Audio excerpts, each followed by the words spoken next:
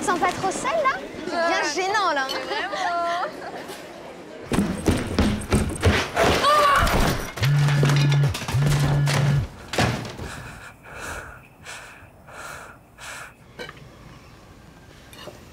Ça recommence?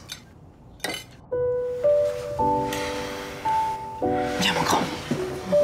Pour faire face au harcèlement, AXA propose désormais une assistance psychologique et juridique dans son assurance scolaire.